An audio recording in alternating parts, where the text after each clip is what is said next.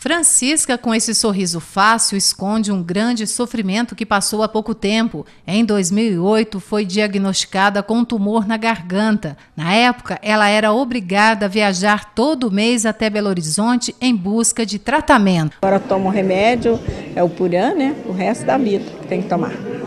E graças a Deus sou bem. O tratamento que tive aqui muito bom aqui no Cacom, né? A gente depende muito daqui, nossa.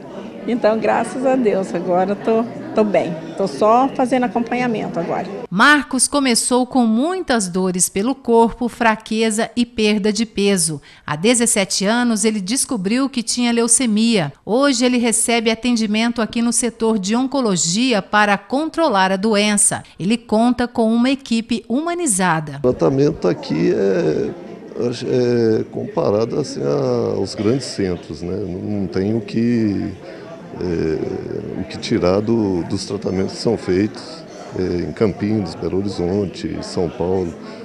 E a equipe é excelente e essencial para Posto de Caldas e para a região. Né? Hoje eu acho que a falta desse trabalho aqui ia ser muito difícil para a população, para as populações aqui da, da região. Né? Aqui no setor de oncologia estão cadastrados 11 mil pacientes, 1.500 são atendidos mensalmente e o setor enfrenta problemas financeiros e toda ajuda é sempre bem-vinda.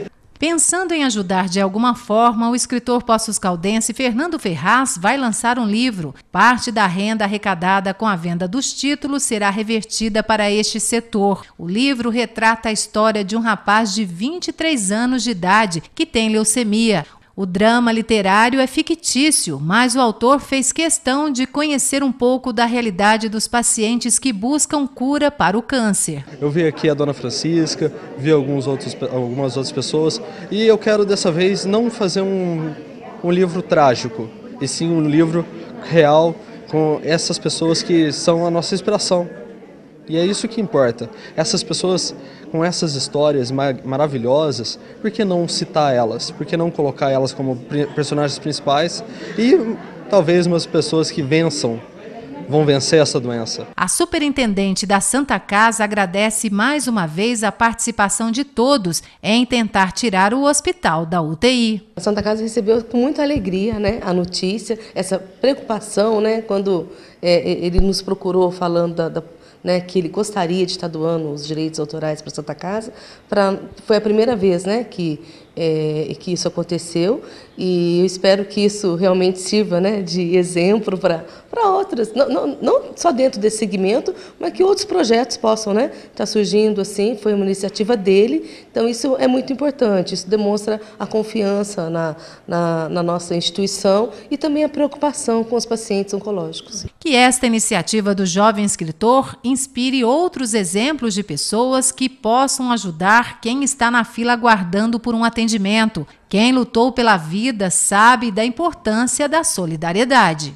Eu espero que todos eles tenham um final feliz, que seja muito bem bem-vindo esse esse pequeno gesto e que logo a gente possa trabalhar em cima dessas pessoas, só que com um enfoque diferente, elas vencendo essa doença. É tranquilo, o povo fala que, que fica assim, nossa, mas foi meu, foi tudo tranquilo, normal, tomo remédio, nem estou aqui bem sossegado.